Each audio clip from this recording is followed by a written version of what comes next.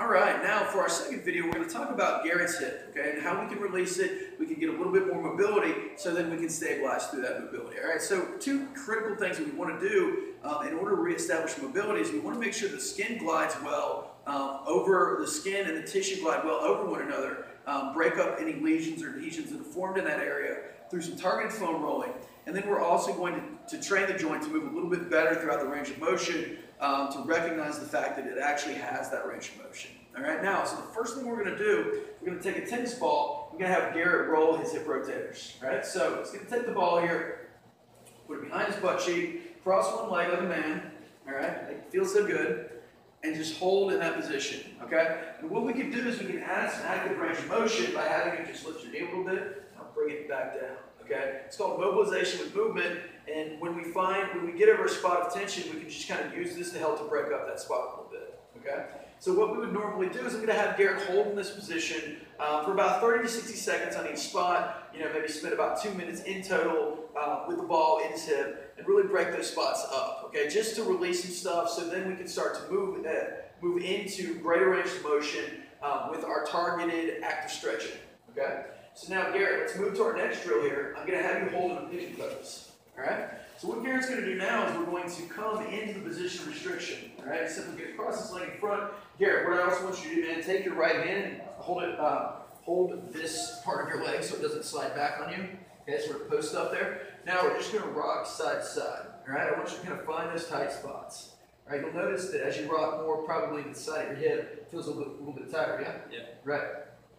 And so again, we're going to spend about one or two minutes in this position. Again, just clearing this stuff up, um, helping the joints move a little bit better now that we've freed up some, um, you know, some space for it. Okay, we will just, uh, you know, rock back and forth. All right. This, these two things can be seen as just kind of clearing the highway um, to then stabilize through range of motion. All right. So our last drill in this sequence is going to be a glute bridge progression. Okay. So let's get onto your back. One thing that we saw with the glute bridge test is Garrett wasn't able to stabilize in that position. His hamstrings were doing the work, okay? We want to make sure the glute is nice and strong and turning on at the right time. That's really the critical thing. So we're going to go through a progression here. I want you to straighten your legs out, all right? Put your hands on your butt, okay? Give yourself some love there. Yes. All right, now, I want you to tighten your left butt cheek five times, okay? Just feel the butt cheek tightening and release it. Okay, now, can you feel that butt cheek versus anything else? Yeah.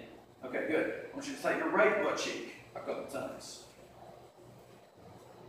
Can you feel that, that butt cheek? All right, now I want you to make them dance back and forth about five times. All right?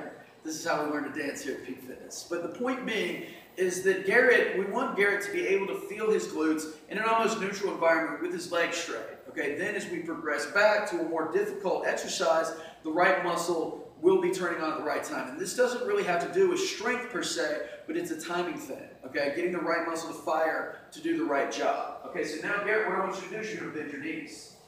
All right? Now, I want you to hug your right knee to your chest. All right, now keep one hand on your butt cheek, okay? This is sort of the, you know, we would progress to here, and if he's not here yet, we can sort of take it down a bit. What I want you to do is just press through your heel, put your butt up in the air, and just sort of make sure that you feel it in your glute versus anywhere else. Come up and down about five times there. All right, think about tightening glute in your hands. Make that muscle work. Now, are you able to feel that more in your glutes than before, would you say? Yeah. Good. And that's the idea, is that it is a progression. You know, ultimately we want to move up to something where the, the right muscle is able to do the right work. And this is a great exercise to do um, before you go out on the golf course, you know, before you go out to play the baseball game, you know, whatever it may be. You know, and, and generally with this, I would advise the rolling, again, about one or two minutes, um, the stretch about, you know, one or two minutes, moving actively in and out of the range of motion, and then followed up by an activation drill for maybe one or two sets of 10 15 reps, all right? In our last video, we'll, we'll talk about how we integrate this all, all of this stuff together in a standing warm-up.